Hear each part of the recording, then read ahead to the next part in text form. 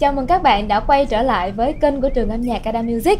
À, Mình là Duyên và đây là một trong số những video clip thanh nhạc Trong số một chuỗi video clip hướng dẫn thanh nhạc mà trường Ada Music phát hành. À, Ở video lần này thì mình sẽ lấy chủ đề cũng tương tự như video trước đó chính là dựa vào những cái câu hỏi được đặt ra ở à, phần comment của các video để mà mình trả lời ha. So... Rồi, ở video trước thì mình có giới thiệu tới các bạn đó chính là cách hát đúng nhịp. Rồi mình sẽ đến với câu hỏi đầu tiên nha. À, Câu hỏi đầu tiên là của bạn à, Phương Nguyễn.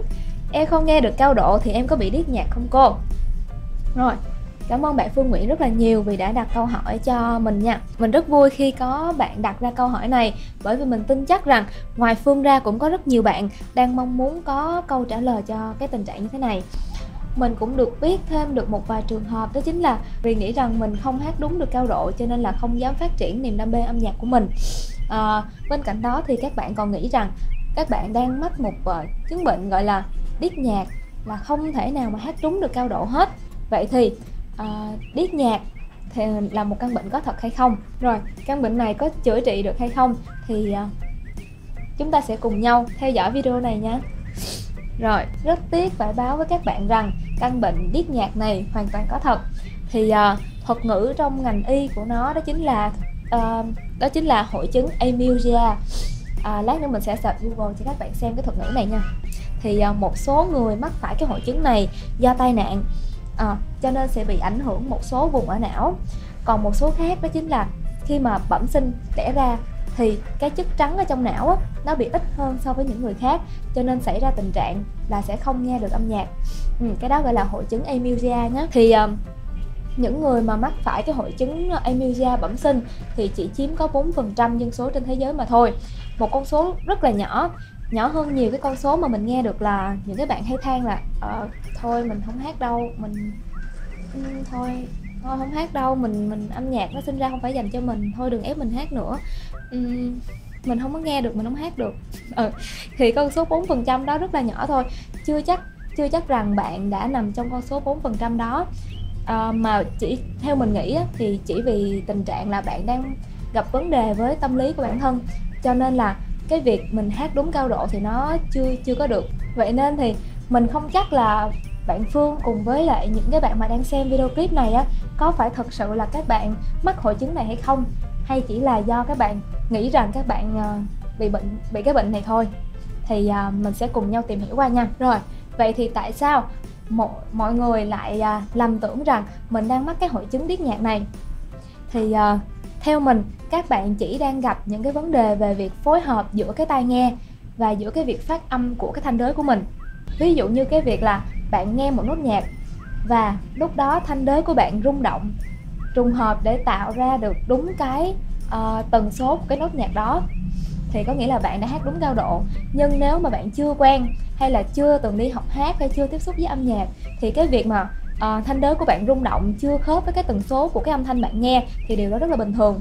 Uh, điều đó có thể tập được có thể cải thiện được chứ không hẳn là mình phải uh, gặp một cái chứng bệnh điếc nhạc rồi không bao giờ mình có thể hát được đúng cao độ. Ngoài ra thì cũng còn có một số trường hợp các bạn bị tự tin về giọng hát của mình ví dụ như uh, ngày đầu đi các bạn mở miệng ra hát thì đã bị chê là ui trời ơi sao hát vô vậy? Ừ. thôi thôi đừng hát nữa hát vô quá ghê quá. Thì đó khi mà mình vừa mở miệng ra hát như vậy rồi mà đã bị đã bị chê thì đương nhiên sẽ nảy sinh ra cái tâm lý là các bạn bị co rút lại bị ờ, e dè với cái giọng hát của mình. Và từ đó không dám mở miệng ra để hát hoặc là để chỉnh sửa cái cao độ mình cho đúng nữa và thông thường khi mà các bạn à, không thoải mái các bạn bị e dè như thế thì các bạn sẽ không chạm tới được đúng cái nốt mà mình cần hát. Ha thì uh, lúc nào nó cũng sẽ thấp hơn một chút xíu. Và từ đó về sau các bạn cứ quen theo cái thói là ừ, cứ hát thấp thấp thấp thấp thấp như vậy hoài.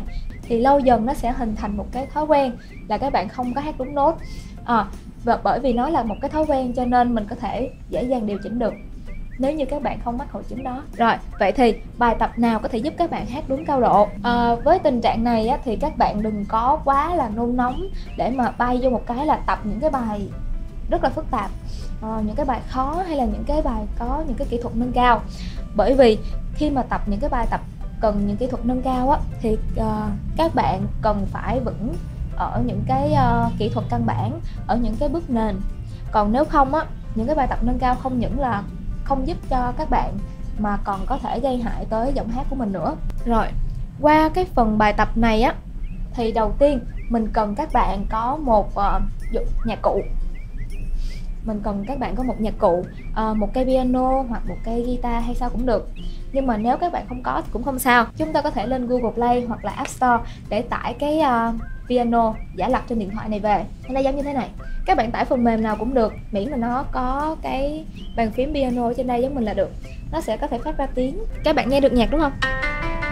Ok. Step thứ hai, bước thứ hai. Mình cần, đó là ngoài cái piano này ra, mình cần các bạn lên Google, search giùm mình. Cụm từ tuner online.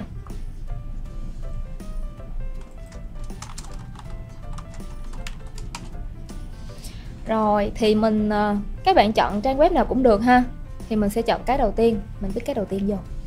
Ở uh, những cái bước đầu tiên này á thì mình sẽ mình chúng ta chỉ tập những một nốt thôi. Ừ, làm sao để cho các bạn hát đúng một nốt trước xong rồi sau đó mình sẽ đi tới nhiều nốt ba nốt hay năm nốt hay bảy nốt trong một cái scale. Rồi nốt đầu tiên mình sẽ chọn đó chính là nốt đồ. Các bạn có thể nhìn lên uh, cái bàn phím của mình. Mình sẽ bấm đây đó. Các bạn thấy nó ra là C4 đúng không? Đúng rồi. Thì nốt mình đang chơi đó chính là nốt đô. Đô 4 à, ờ, nhiệm vụ của các bạn đó chính là hát như thế nào để cho cái phần tuner ở trên đây nè nó hiện lại đúng cái chữ và đúng cái số mà ban nãy uh, cây đàn nó phát ra. Mình ví dụ mình sẽ bấm. Nó đang hiện ở đô 4 và sau đó mình sẽ hát lại. Na, nó là nốt mi 4 thì có nghĩa là mình đã hát sai. Ừ. thì mình phải điều chỉnh cái cao độ làm sao cho cái giọng của mình đúng cái chữ C4 giống như hồi nãy. La,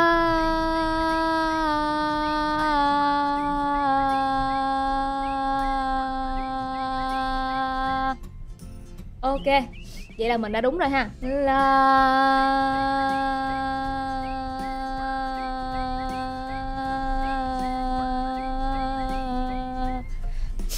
rồi, các bạn thấy nó màu xanh dương, xanh lá thì nó là đúng ngay cái chữ C4 luôn. Rồi, tiếp theo nhá mình sẽ thử một nút khác, mình sẽ không nhìn lên đàn nữa, mình bấm đại. Rồi F4 là pha 4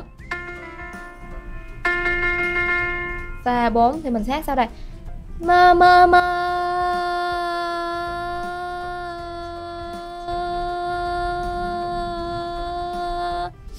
Ok, nó hiện lên F4 Vậy là mình đã đúng. Rồi, qua bài tập thứ hai thì nó sẽ có khó hơn một chút xíu. À, Mình sẽ thử thách các bạn là ba nốt nha. Ba nốt, mình ví dụ. Nó sẽ là ba nốt nào đây? đô 4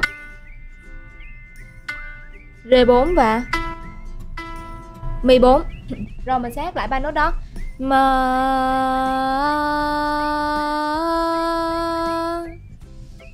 hai ba nốt đã đúng. Rồi Giờ mình sẽ đưa bài tập cho các bạn nha. Son 4 nè. C4 nè. R5 Rồi, các bạn làm thử giúp mình nha. Ok, các bạn có thể mở phần mềm lên trên uh, một cái điện thoại khác của mình trong lúc mà coi cái video clip này để mà cùng với Duyên thực hành cái bài này. Rồi, bài tập tiếp theo nha.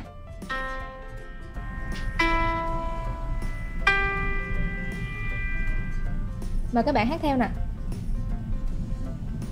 Ok, à, đương nhiên trong cái phần đầu này á, thì các bạn có thể sẽ gặp một số tình trạng giống như là à, mình hát sai rồi mình không biết là nó à, không biết làm sao để mà kéo về được cái cái cái cái cái, cái nốt nhạc nó đang hiển thị lên.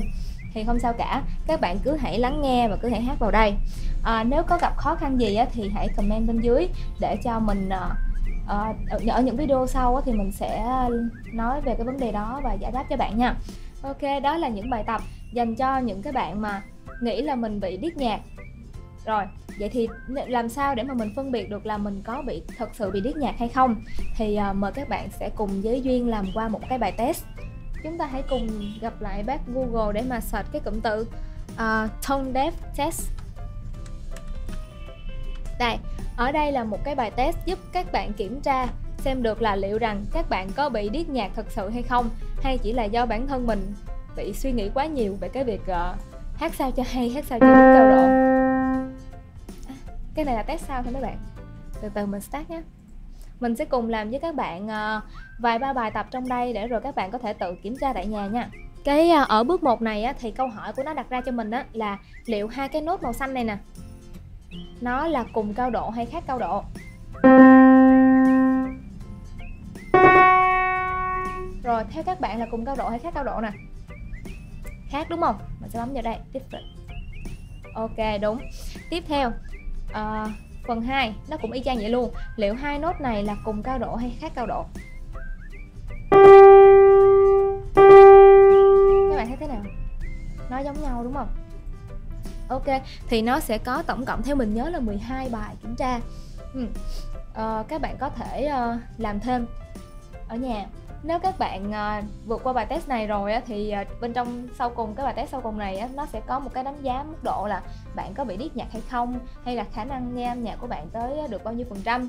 Sau khi các bạn thực hiện xong bài test rồi á, thì hãy cùng uh, chụp màn hình lại rồi khoe bên dưới giúp mình nha nếu như các bạn ờ, thực hiện tại nhà không không cảm thấy không ổn á, thì các bạn có thể tham gia khóa học luyện nhạc chơi Tết. Khóa học này có điểm đặc biệt là chỉ kéo dài trong 3 ngày thôi. Dùng để luyện cho các bạn là hát đúng cao độ đúng nhịp đúng phách à, lấy hơi đúng à, những một một một vài bài một vài bài để các bạn có thể ờ, ngày ngày, ngày Tết uh, có thể hát với ờ, bạn bè bà con dòng họ. Nếu các bạn có câu hỏi gì thì hãy comment bên dưới giống như là bạn Phương nha để mình có thể uh, biết được cái tình trạng của mọi người để mình có thể đưa ra những cái bài tập phù hợp. Rồi cảm ơn mọi người và hẹn gặp lại mọi người vào video tiếp lần sau.